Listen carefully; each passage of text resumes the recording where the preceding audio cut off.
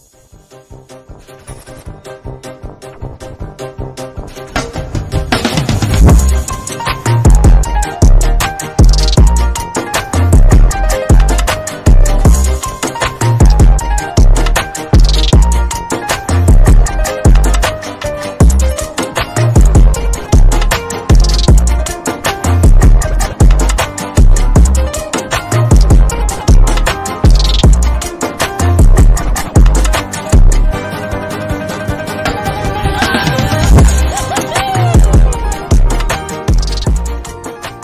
I think that's not a real default.